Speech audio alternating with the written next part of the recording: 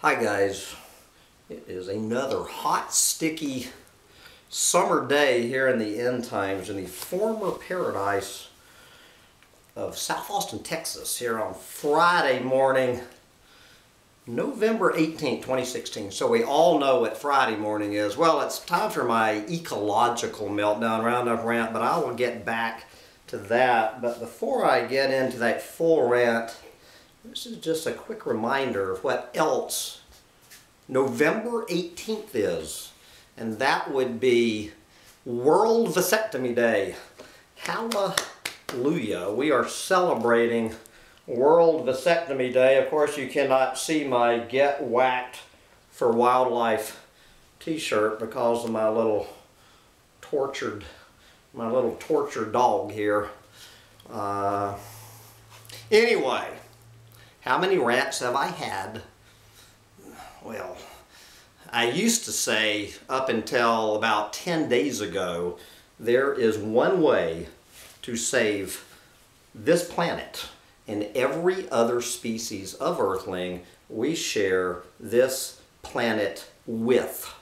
And that is for every, well, I guess a woman doesn't get a vasectomy. So this is for you guys. This is just, this is a little, just a little talk between guys.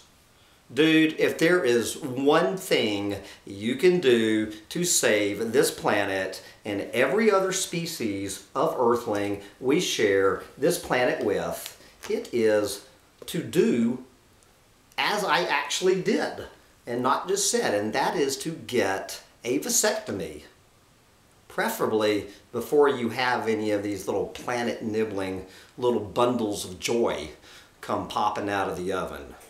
That is the one and the only way you can fuck your little solar panels, your windmills, your curly Q light bulbs, your paper versus plastic, your vegan diet, uh, what else that you think you're doing to save this planet.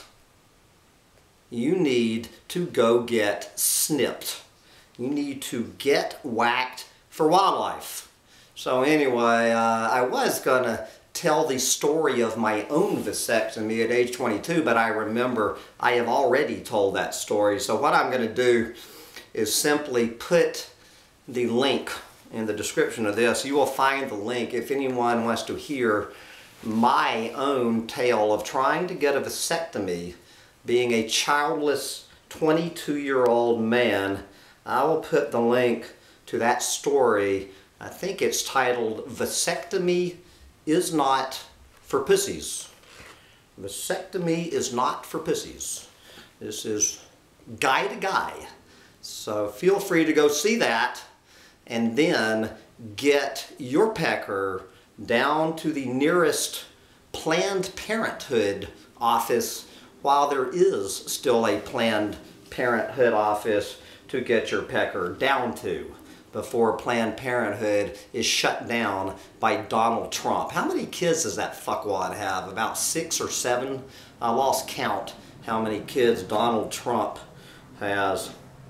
But anywho's, I gotta come back with you in a minute with my uh, ecological meltdown roundup rant where I just survey the fallout from no one getting vasectomies. What is happening on this planet because nobody is celebrating World Vasectomy Day.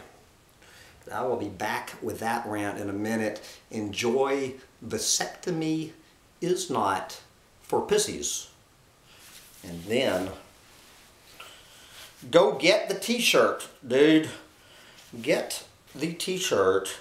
Get whacked for wildlife. Bye, guys.